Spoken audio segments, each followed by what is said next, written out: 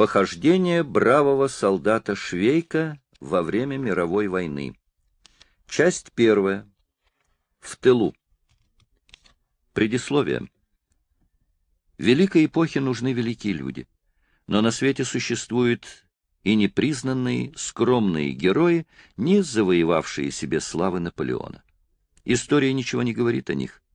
Но при внимательном анализе их слава затмила бы даже славу Александра Македонского. В наше время вы можете встретить на пражских улицах бедно одетого человека, который и сам не подозревает, каково его значение в истории новой великой эпохи. Он скромно идет своей дорогой, ни к кому не пристает, и к нему не пристают журналисты с просьбой об интервью. Если бы вы спросили, как его фамилия, он ответил бы просто и скромно — Швейк. И действительно, этот тихий, скромный человек в поношенной одежде, тот самый бравый солдат Швейк, отважный герой, имя которого еще во времена Австро-Венгрии не сходило с уст всех граждан Чешского королевства, и слава которого не померкнет и в республике. Я искренне люблю бравого солдата Швейка и, представляя вниманию читателей его похождения во время мировой войны, уверен, что все будут симпатизировать этому непризнанному герою. Он не поджег храма богини в Эфесе, как это сделал глупец Герострат, для того, чтобы попасть в газеты и школьные хрестоматии. И этого вполне достаточно. Автор.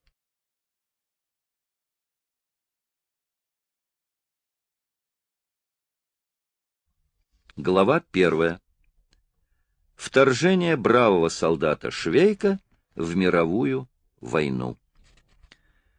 «Убили, значит, Фердинанда-то нашего», — сказала Швейку его служанка. Швейк несколько лет тому назад, после того, как медицинская комиссия признала его идиотом, ушел с военной службы и теперь промышлял продажей собак, безобразных ублюдков, которым он сочинял фальшивые родословные. Кроме того, он страдал ревматизмом и в настоящий момент растирал себе колени оподальдоком. Какого Фердинанда? Пани Мюллерова? — спросил Швейк, не переставая массировать колени. — Я знаю двух Фердинандов. Один служит в аптекарском магазине Пруши. Как-то раз по ошибке он выпил бутылку жидкости для ращения волос. А еще есть Фердинанд Кокошка, тот, что собирает собачье дерьмо. Обоих ни чуточки не жалко. — Нет, сударь, эрцгерцога Фердинанда — того, что жил в Конопеште, того, толстого, набожного. Эрцгерцог Фердинанд, 1863-1914, Франц Фердинанд фон Эсте, племянник австро-венгерского императора Франца Иосифа I, наследник престола, был убит вместе со своей женой в Сараево 28 июня 1914 года. Конопеште — замок эрцгерцога Франца Фердинанда в Чехии. «Иисус Мария!» — вскричал Швейк. «Вот тена! А где это с господином эрцгерцогом приключилось?» «В Сараево его укокошили, сударь, из револьвера. Ехал он со своей эрцгерцогиней в автомобиле. Скажите на милость, пани Мюллерова, в автомобиле? Ну, конечно, такой барин может себе это позволить а, наверное, и не подумал, что автомобильные поездки могут так плохо кончиться, да еще в Сараево. Сараево — это в Боснии, панни Мюллерова. А подстроили это, видать, турки. Нечего нам было отнимать у них Боснию и Герцеговину. Нечего нам было отнимать у них Боснию и Герцеговину. В 1908 году Австро-Венгрия аннексировала Боснию и Герцеговину. Вот какие дела, пани Мюллерова. Эрцгерцог, значит, приказал долго жить. Долго мучился? Тут же помер, сударь. Известно, с револьвером шутки плохи. Недавно у нас в Нуслях один господин забавлялся револьвером и перестрелял всю семью, да еще швейцара, который пошел посмотреть, кто там стреляет на четвертом этаже. Из иного револьвера пани Мюллерова хоть лопни не выстрелишь. Таких систем пропасть. Но для эрцгерцога, наверное, купили что-нибудь этакое особенное. И я готов биться об заклад, что человек, который стрелял, по такому случаю разоделся в пух и прах. Известно, стрелять в эрцгерцога — штука нелегкая. Это не то, что браконьеру подстрелить лесника. Все дело в том, как до него добраться. К такому барину в лохмотьях не подойдешь. Непременно нужно надеть цилиндр, а то того и гляди, сцапает полицейский. Там, говорят, народу много было, сударь. — Так, разумеется, пани Мюллерова, — подтвердил Швейк, заканчивая массаж колен. Если бы вы, например, пожелали убить эрцгерцога или государя-императора, вы бы обязательно с кем-нибудь посоветовались. Ум хорошо, два лучше. Один присоветует одно, другой — другое, и путь открыт к успехам, как поется в нашем гимне. Главное — разнюхать, когда такой барин поедет мимо. Помните Люккени, который проткнул нашу покойную Елизавету напильником? Помните господина Люккени, который проткнул нашу покойную Елизавету напильником? Луиджи Люккени 10 сентября 1898 года убил австрийскую императрицу Елизавету, жену Франца Иосифа I. Ведь он с ней прогуливался. Вот и верьте после этого людям. С той поры ни одна императрица не ходит гулять пешком. Такая участь многих еще поджидает. Вот увидите, пани Мюллерова, они доберутся и до русского царя с царицей, а может быть, не дай бог, и до нашего государя-императора, раз уж начали с его дяди. Начали с его дяди. Швейк ошибается. Франц Фердинанд был племянником, а не дядей Франца Иосифа I. У него, у старика-то, много врагов, побольше еще, чем у Фердинанда. Недавно в трактире один господин рассказывал, придет время, эти императоры полетят один за другим, и им даже государственная прокуратура не поможет. А потом оказалось, что этому типу нечем расплатиться за пиво, и трактирщику пришлось позвать полицию, а он дал трактирщику оплеуху, а полицейскому две. Потом его увезли в корзине очухаться увезли в корзине очухаться. Во времена австро-венгерской монархии полиция увозила пьяных в ручной тележке-корзине. Да, панни Мюллерова, странные дела нынче творятся. Значит, еще одна потеря для Австрии. Когда я был на военной службе, так там один пехотинец застрелил капитана, зарядил ружье и пошел в канцелярию. Там сказали, что ему в канцелярии делать нечего. А он все свое должен был поговорить с капитаном. Капитан вышел и лишил его отпуска из казармы. А он взял ружье и бац ему прямо в сердце. Пуля пробила капитана насквозь, да еще наделала в канцелярии бед, расколола бутылку с чернилами, и они залили служебные бумаги. А что стало с тем солдатом? — спросила минуту спустя пани Мюллерова, когда Швейк уже одевался. — Повесился на помочах, — ответил Швейк, чистя свой котелок. — Да помощи-то были не его. Он их выпросил у тюремного сторожа. У него, дескать, штаны спадают. Да и то сказать, не ждать же, пока тебя расстреляют. Ну, понятно, пани Мюллерова. В таком положении хоть у кого голова пойдет кругом. Тюремного сторожа разжаловали, и вкатили ему шесть месяцев. Но он их не отсидел. Удрал в Швейцарию и теперь проповедует там в какой-то церкви. Нынче честных людей мало, пани Мюллерова. Думается мне, что эрцгерцог Фердинанд тоже ошибся в том человеке, который его застрелил. Увидел, небось, этого господина и подумал, порядочный должно быть человек, раз меня приветствует. А тот возьми, да и хлопни его. Одну всадил или несколько? — Газеты пишут, что эрцгерцог был как решето, сударь. Тот выпустил в него все патроны. Но ну, это делается чрезвычайно быстро, пани Мюллерова. Страшно быстро. Для такого дела я бы купил себе браунинг. На вид игрушка, а из него можно в два счета перестрелять двадцать эрцгерцогов, хоть тощих, хоть толстых. Впрочем, между нами, говоря, пани Мюллерова, в толстого эрцгерцога вернее попадешь, чем в тощего. Вы, может, помните, как в Португалии подстрелили ихнего короля? Помните, как в Португалии подстрелили ихнего короля? 1 февраля 1908 года в Лиссабоне был убит португальский король Карл, отличавшийся чрезвычайной тучностью. Во, какой был толстый! Вы же понимаете, тощим король не будет. Ну, я пошел в трактир у чаши. Если придут брать терьера, за которого я взял задаток, то скажите, что я держу его на своей псарне за городом, что недавно подрезал ему уши, и пока уши не заживут, перевозить щенка нельзя, а то их можно застудить. Ключ оставьте у привратницы. В трактире у чаши сидел только один посетитель. Это был агент тайной полиции Брэд Шнейдер. Трактирщик-палевец мыл посуду, и Брэд Шнейдер тщетно пытался завязать с ним серьезный разговор. Палевец слыл большим грубияном. Каждое второе слово у него было «задница» или «дерьмо».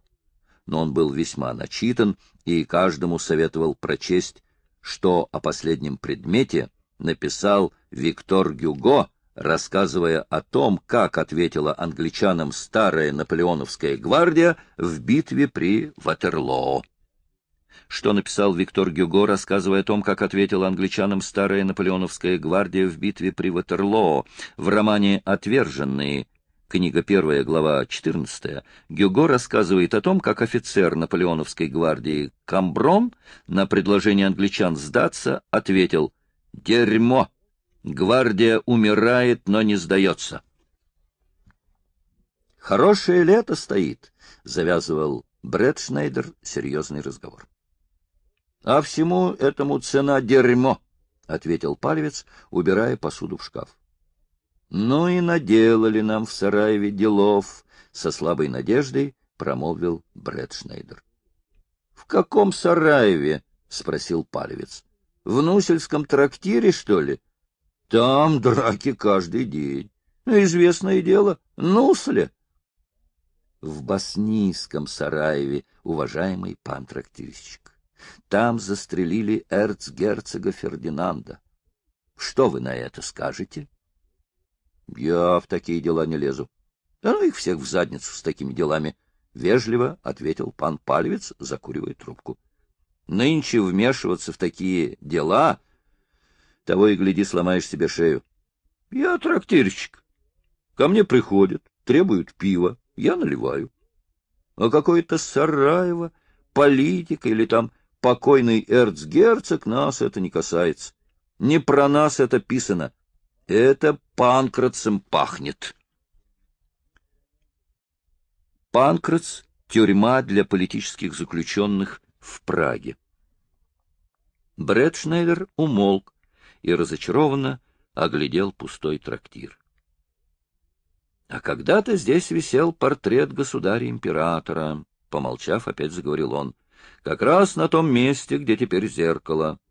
— Вы справедливо изволили заметить, — ответил пан Палевец. — Висел когда-то. Да только гадили на него мухи. Так я убрал его на чердак. Знаете, еще позволит себе кто-нибудь на этот счет замечание. И посыплются неприятности. А на кой черт мне это надо? В этом Сараево скверно видно было. Как вы полагаете, уважаемый? На этот прямо поставленный коварный вопрос пан Палевец ответил чрезвычайно осторожно. — Да, в это время в Боснии и Герцеговине страшная жара. Когда я там служил, мы нашему обер-лейтенанту то и дело лед к голове прикладывали. — В каком полку вы служили, уважаемый? — Я таких пустяков не помню. Никогда не интересовался подобной мерзостью. — ответил пан Пальвиц. — На этот счет я не любопытен. Излишнее любопытство вредит. Тайный агент Брэд Шнейдер окончательно умолк, и его нахмуренное лицо повеселело только с приходом Швейка, который, войдя в трактир, заказал себе черного пива, заметив при этом «В Вене сегодня тоже траур».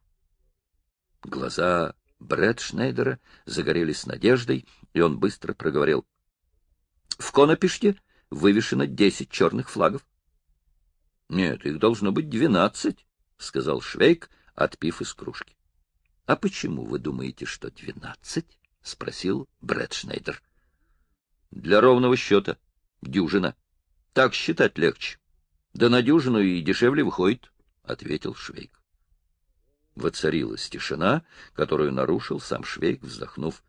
— Так, значит, приказал долго жить, царство ему небесное. Не дождался даже, пока будет императором. Когда я служил на военной службе, один генерал упал с лошади и расшибся. Хотели ему помочь, посадить на коня, посмотрели, а он уже готов. Мертвый. А ведь метил фельдмаршалы. Насмотрю это с ним случилось. Эти смотры никогда до добра не доводят. В Сараеве, небось, тоже был какой-нибудь смотр. Вот помню, как-то на смотру у меня на мундире не хватило двадцати пуговиц. И за это меня посадили на четырнадцать дней в одиночку. И два дня я, как лазарь, лежал связанный козлом. Лежал связанный козлом.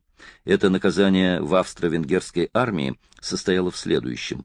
Провинившемуся солдату привязывали руки к ногам и в таком положении оставляли лежать в течение дня и более. На военной службе должна быть дисциплина. Без нее никто бы и пальцем для дела не пошевельнул. Наш обер-лейтенант Маковец всегда говорил, дисциплина, болваны, необходима. Не будь дисциплины, вы бы, как обезьяны, по деревьям лазили. Военная служба из вас дураки безмозглые людей сделает. Ну, разве это не так? Вообразите себе сквер, скажем, на Карловой площади. И на каждом дереве сидит по одному солдату без всякой дисциплины. Это меня ужасно пугает. Все это сербы наделали в Сараеве-то, старался направить разговор Бред Шнайдер. Ошибаетесь. — ответил Швейк. — Это все турки натворили. Из-за Боснии и Герцеговины. И Швейк изложил свой взгляд на внешнюю политику Австрии на Балканах. Турки проиграли в 1912 году войну с Сербией, Болгарией и Грецией. Они хотели, чтобы Австрия им помогала, а когда этот номер у них не прошел, застрелили Фердинанда. — Ты турок любишь? — обратился Швейк к трактирщику Палевцу. Этих нехристей ведь нет. Посетитель как посетитель, — сказал Палевец, — хоть бы и турок. Нам, трактирщикам, до политики никакого дела нет. Заплати за пиво, сиди себе в трактире и болтай, что в голову взбредет. Вот мое правило. Кто бы ни прикончил нашего Фердинанда, серп или турок, католик или магометанин, анархист или младочих, мне все равно. — Хорошо, уважаемый, — промолвил Брэд Шнейдер, — опять начиная терять надежду, что кто-нибудь из двух попадется. Но сознайтесь, что это большая потеря для Австрии. Вместо трактирщика ответил Швейк. — Конечно, потеря. Спору нет. Ужасная потеря. Фердинанда не заменишь каким-нибудь болваном. Но он должен был бы быть потолще, что вы хотите этим сказать? — оживился Брэд Шнейдер. — Что хочу сказать? — с охотой ответил Швейк. — Вот что.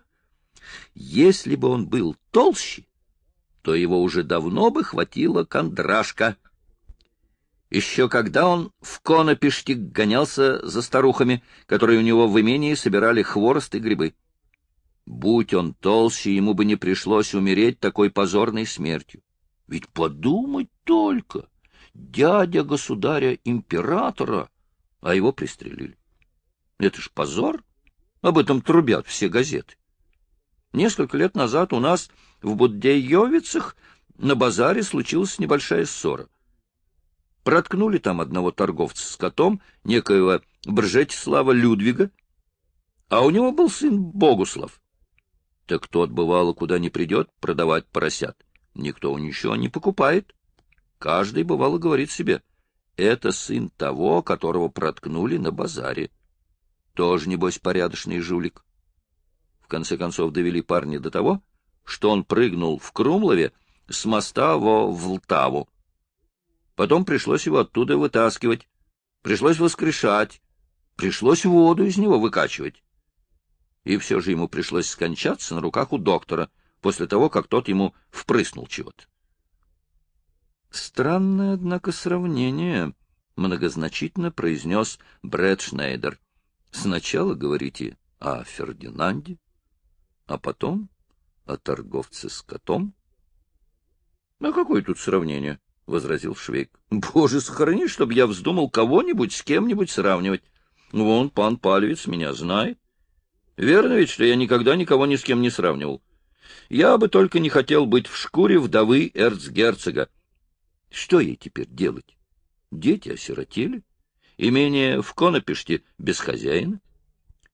Выходить за второго эрцгерцога? А что толку? Поедет опять с ним в Сараево и второй раз овдовеет. Вот, например, в Зливе, близ э, Глубокой, несколько лет тому назад жил один лесник с этой безобразной фамилией — Пиндюр. Застрелили его браконьеры, и осталась после него вдова с двумя детьми. Через год она вышла замуж опять за лесника. Пепика, шаловица из Мыловар. Ну и того тоже как раз прихлопнули. Вышла она в третий раз. Опять за лесника. И говорит, Бог троицу любит. Если уж теперь не повезет, не знаю, что и делать. Ну, понятно, и этого застрелили. А у нее уж от этих лесников круглым счетом было шестеро детей. Пошла она в канцелярию самого князя, в глубокую, и плакалась там, какое с этими лесниками приняла мучение. Тогда ей порекомендовали выйти за Ярыша, сторожа с Ражецкой запруды. И что бы вы думали? Его тоже утопили во время рыбной ловли, и от него она тоже прижила двух детей. Потом она вышла замуж за коновала из Воднян, а тот как-то ночью стукнул ее топором и добровольно сам о себе заявил. Когда его потом при окружном суде в Писаке вешали, он укусил священника за нос и заявил, что вообще ни о чем не сожалеет. Да сказал еще что-то очень скверное про государя-императора. — А вы не знаете, что он про него сказал? — голосом, полным надежды, спросил Брэд Шнейдер. — И этого я вам сказать не могу. Этого еще никто не осмелился повторить. Но, говорят, его слова были такие ужасные, что один судейский чиновник, который присутствовал там, с ума спятил, и его еще до сих пор держат в изоляции, чтобы ничего не вышло наружу. Это не было обычное оскорбление государя-императора, какие с пьяны делаются. — А какие оскорбления государю-императору делаются с пьяна? — спросил Брэд Шнейдер. — Прошу вас, господа, перемените тему, — вмешался трактирщик Палевец. — Я, знаете, этого не люблю. Сбрехнут какую-нибудь ерунду, а потом человеку неприятности. — Какие оскорбления наносят государю-императору Спияна? — переспросил Швейк. — Всякие. Напейтесь, велите сыграть вам австрийский гимн, и сами увидите, сколько наговорите. Столько насочините о государе-императоре, что, если бы лишь половина была правда, хватило бы ему позору на всю жизнь. А он, старик, по правде сказать, этого не заслужил. Примите во внимание, сына Рудольфа он потерял в отсвете лет полного сил, жену Елизавету у него проткнули напильником, потом не стало его брата Яна Орта, а брата мексиканского императора — в какой-то крепости поставили к стенке.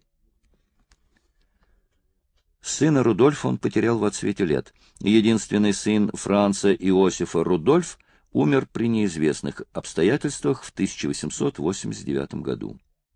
Потом не стало его брата Яна Орта, эрцгерцог Иоганн, Ян, в 1889 году отрекся от своего титула и принял фамилию Орт. В 1891 году пропал без вести. Брата мексиканского императора в какой-то крепости поставили к стенке. Эрцгерцог Максимилиан Габсбург, император Мексики с 1863 по 1867 год, был посажен на престол французскими интервентами. Впоследствии взят в плен мексиканскими республиканцами и расстрелян в крепости Кревератаро. А теперь, на старости лет, у него дядю подстрелили. Нужно железные нервы иметь.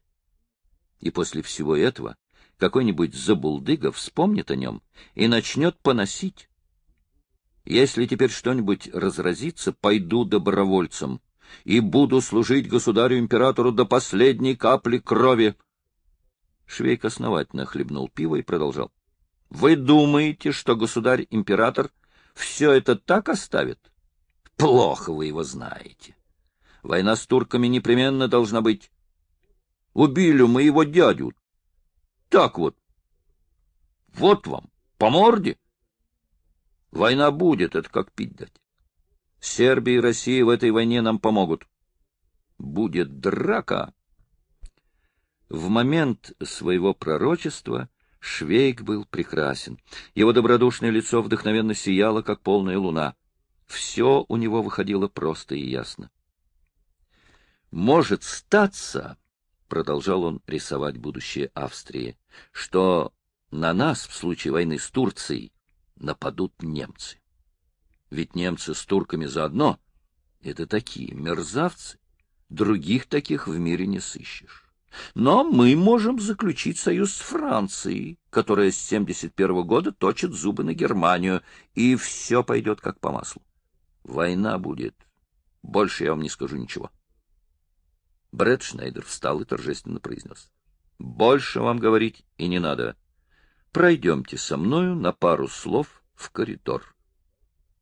Швейк вышел за агентом тайной полиции в коридор, где его ждал небольшой сюрприз. Собутыльник показал ему орла и заявил, что Швейк арестован, и он немедленно отведет его в полицию.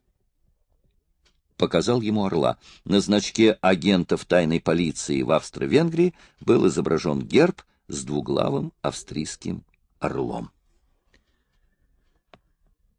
Швейк пытался объяснить, что тут, по-видимому, вышла ошибка, так как он совершенно невиновен и не обмолвился ни единым словом, которое могло бы кого-нибудь оскорбить. Но Брэд Шнейдер на это заявил, что Швейк совершил несколько преступлений, среди которых имела место и государственная измена. Потом оба вернулись в трактир, и Швейк сказал Палевцу — я выпил пять кружек пива и съел пару сосисок с рогаликом. Дайте мне еще рюмочку сливянки, и мне уже пора идти, так как я арестован. Брэд Шнейдер показал палевцу своего орла, с минуту глядел на трактирщика и потом спросил. — Вы женаты? — Да. — А может ваша жена вести дело вместо вас? — Может. — Тогда все в порядке, уважаемый, —— весело сказал Брэд Шнейдер. — Позовите вашу супругу и передайте ей все дела. Вечером за вами приедем. — Не тревожься, — утешал палевца Швейк. — Я арестован всего только за государственную измену. — Но я-то за что? — заныл палевец. — Ведь я был так осторожен.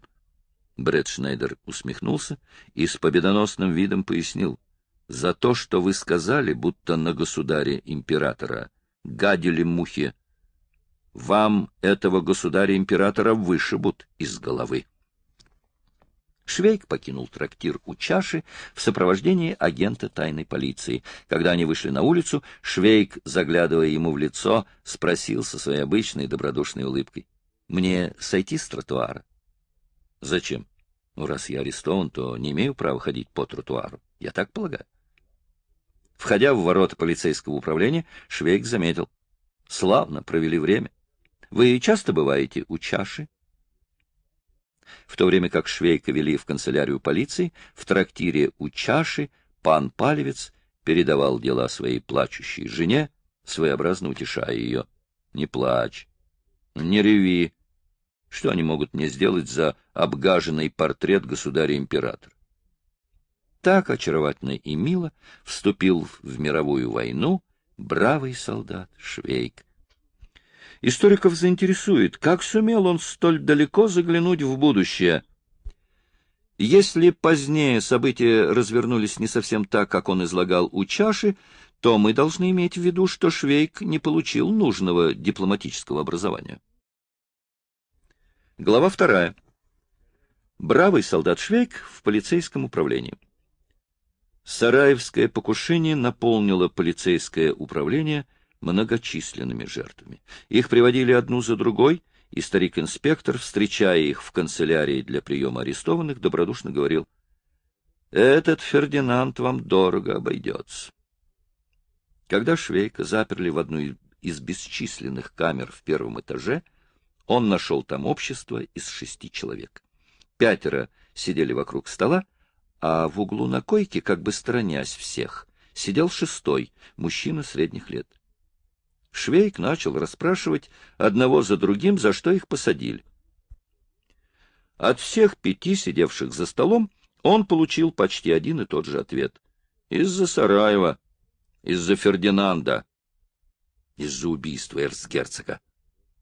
За Фердинанда. За то, что в Сараеве прикончили эрцгерцога. Шестой, он всех сторонился, заявил, что не желает иметь с этими пятью ничего общего, чтобы на него не пало подозрений.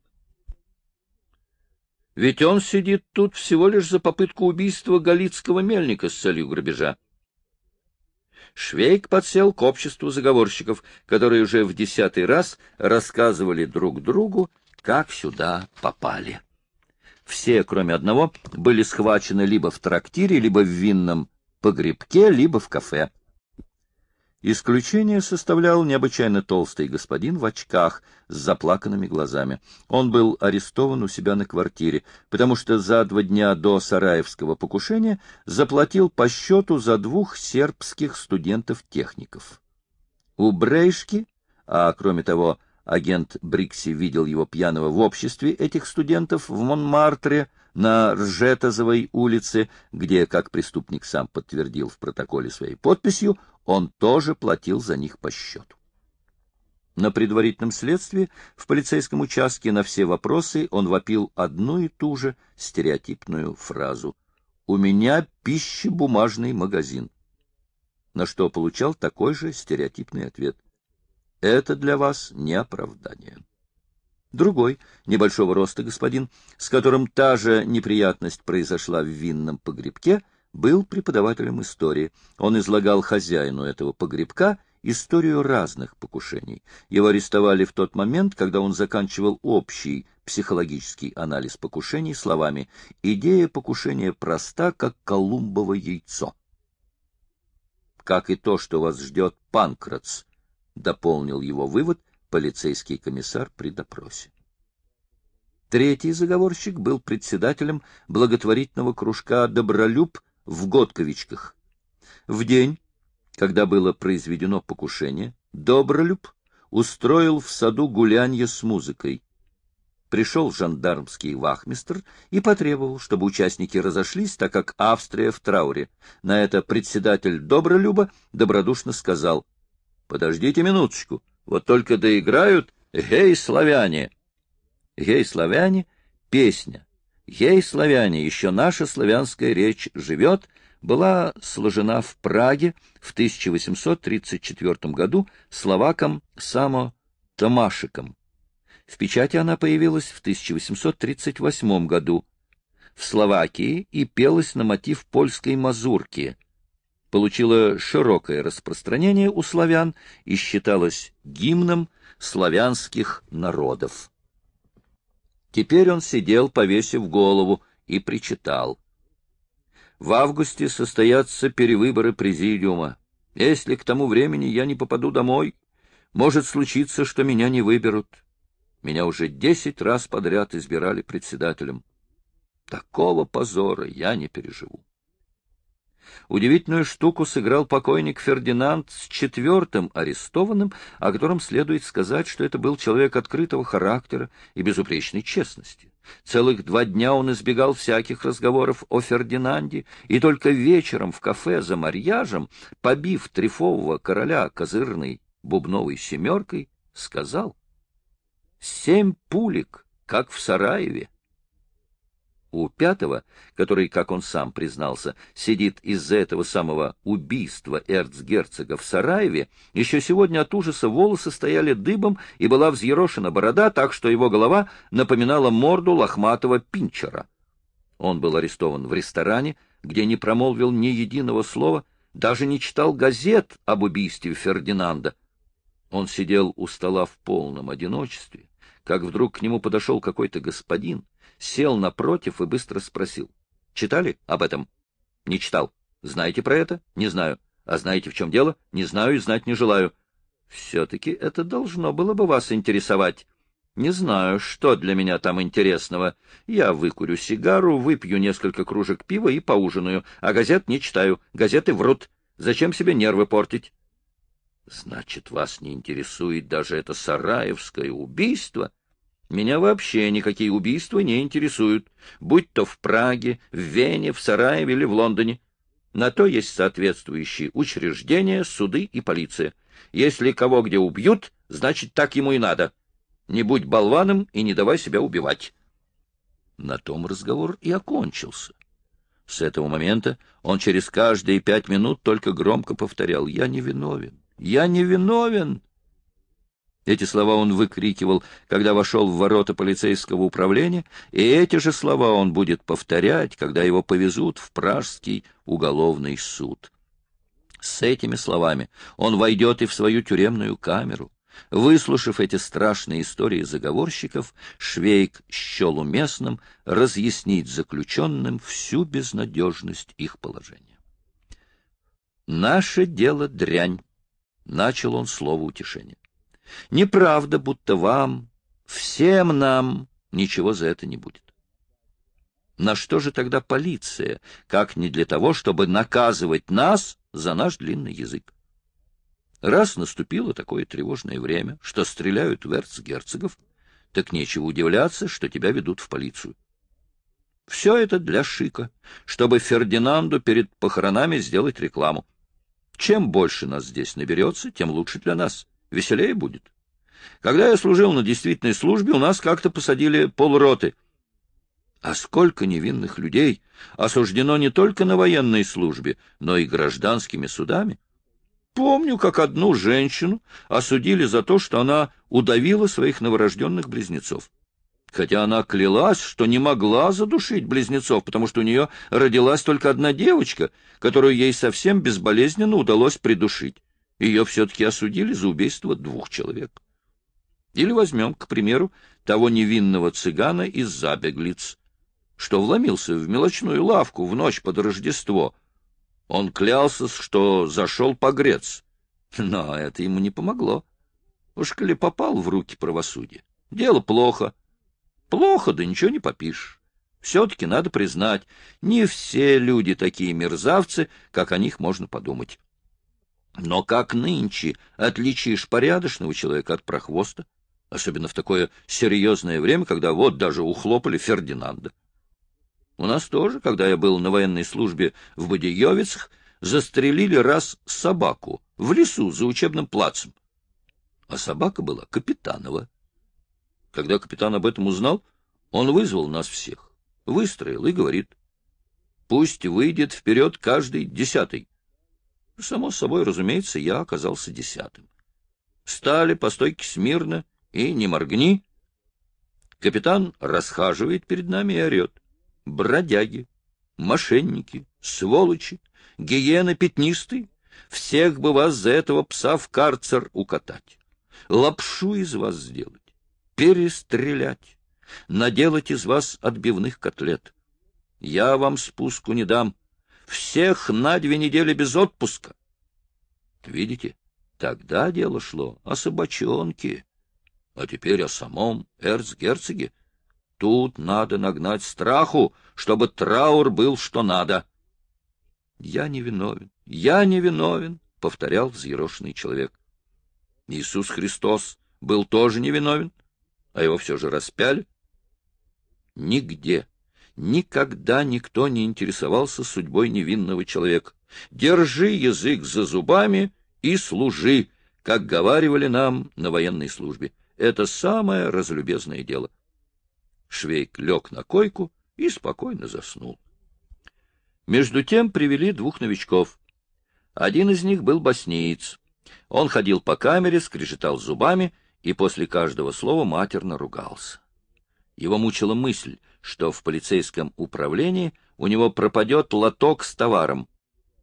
Вторым был трактирщик-палевец, который, увидав Швейка, разбудил его и трагическим голосом воскликнул «Я уже здесь!».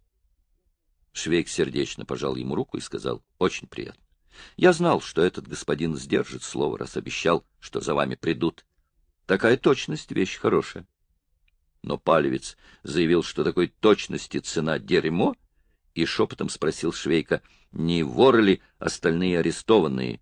Ему, как трактирщику, это может повредить. Швейк разъяснил, что все, кроме одного, который посажен за попытку убийства галицкого мельника с целью ограбления, принадлежат к их компании. Сидят из-за эрцгерцога. Павелец обиделся и заявил, что он здесь не из-за какого-то болвана эрцгерцога, а из-за самого государя-императора. И так как все остальные заинтересовались этим, он рассказал им о том, как мухи загадили государя-императора. «Заморали мне его бестии», — закончил он описание своих злоключений, — «и под конец довели меня до тюрьмы. Я этого мухам так не спущу», — добавил он угрожающе. Швейк опять завалился спать, но спал недолго, так как за ним пришли, чтобы отвезти на допрос. Итак, поднимаясь по лестнице в третье отделение, Швейк безропотно нес свой крест на Голгофу и не замечал своего мученичества. Прочитав надпись «Плевать в коридоре воспрещается», Швейк попросил у сторожа разрешения плюнуть в плевательницу и, сияя своей простотой, вступил в канцелярию со словами «Добрый вечер всей честной компании». Вместо ответа кто-то дал ему под ребра и подтолкнул к столу, за которым сидел господин с холодным чиновничьим лицом, выражающим зверскую свирепость, словно он только что сошел со страницы книги Ламброза «Типы преступников». Ламброза Чезаре, 1835 1909 итальянский профессор психиатрии, изучавший типы преступников. Книги с названием «Типы преступников» среди его трудов нет. Он кровожадно посмотрел на Швейка и сказал, «Не прикидывайтесь идиотом». «Ничего не поделаешь», — серьезно ответил Швейк. «Меня за идиотизм освободили от военной службы. Особой комиссией я официально признан идиотом. Я официальный идиот. Господин с лицом преступника заскрежетал зубами. Предъявленные вам обвинения и совершенные вами преступления свидетельствуют о том, что вы в полном уме и здравой памяти. И он тут же перечислил Швейку целый ряд разнообразных преступлений, начиная с государственной измены и кончая оскорблением Его Величества и членов царствующего дома. Среди этой кучи преступлений выделялось одобрение убийства эрцгерцога Фердинанда. Отсюда отходила ветвь к новым преступлениям, между которыми ярко блистало подстрекательство к мятежу, поскольку все это происходило в общественном месте. «Что вы на это скажете?» — победоносно спросил господин со звериными чертами лица. «Этого вполне достаточно», — невинно ответил Швейк. Излишество вредит. Вот видите, вы же сами признаете. Я все признаю. Строгость должна быть. Без строгости никто бы ничего не достиг. Вот когда я был на военной службе... Молчать! — крикнул полицейский комиссар на швейк. — Отвечаете только, когда вас спрашивают. Понимаете? — Как не понять? — согласился Швейк. — Осмелюсь доложить. Понимаю, и во всем, что вы изволите говорить, сумею разобраться. — С кем Состоите в сношениях? Со своей служанкой, ваша милость. А нет ли у вас каких-либо знакомств в здешних политических кругах? Как же, ваша милость? Покупаю вечерний выпуск национальной политики. Сучку. Национальная политика, сучка, чешская буржуазная газета «Национальная политика» получила в народе ироническое прозвище «сучка». «Вон!» — заревел господин со зверским выражением лица. Когда Швейка выводили из канцелярии, он сказал, «Спокойной ночи, ваша милость». Вернувшись в свою камеру, Швейк сообщил арестованным, что это не допрос, а смех один — Немножко на вас покричат, а под конец выгонят. Раньше, — заметил Швейк, — бывало куда хуже. Читал я в какой-то книге, что обвиняемые, чтобы доказать свою невиновность, должны были ходить босиком по раскаленному железу и пить расплавленный свинец. А кто не хотел сознаться, тому на ноги надевали испанские сапоги и поднимали на дыбу.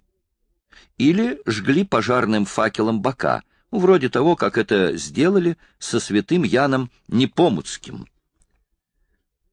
Ян Непомуцкий, 1340-1393, католический святой, патрон Чехии, по приказу короля Вацлава был утоплен за то, что отказался открыть тайну исповеди королевы. Тот, говорят, так орал при этом, словно его ножом резали и не перестал реветь до тех пор, пока его в непромокаемом мешке не сбросили с Элишкина моста.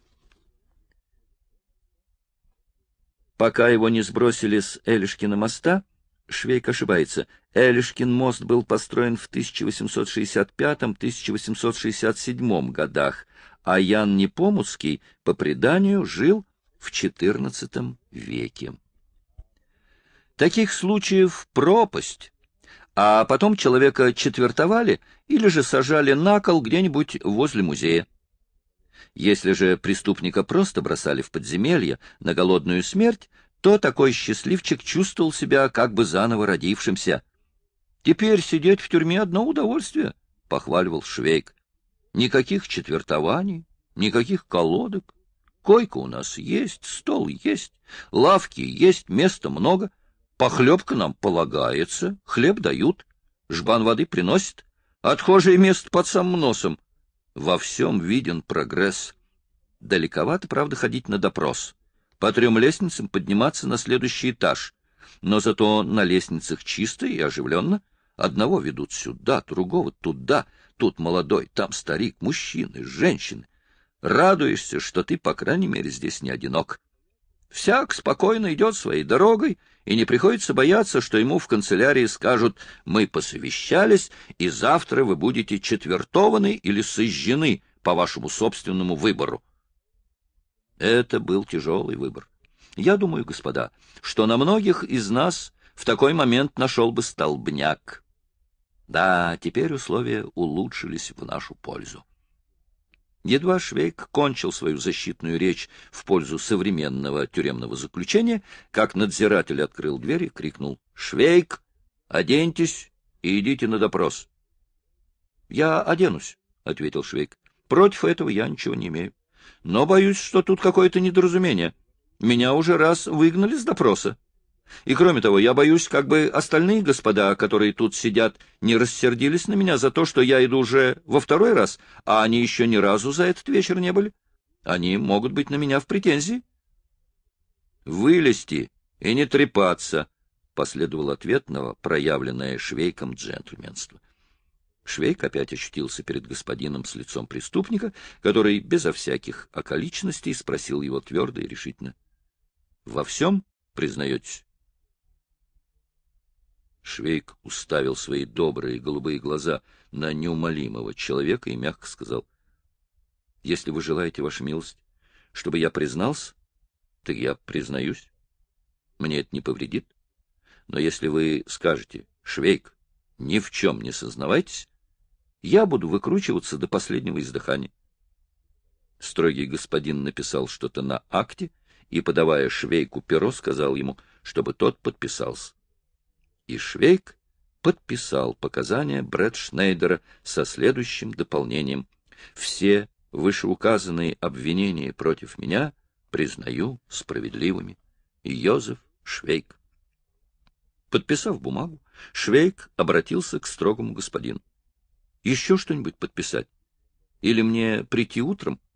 — Утром вас отвезут в уголовный суд, — последовал ответ. — А в котором часу, ваша милость? Чтобы, боже упаси, как-нибудь не проспать?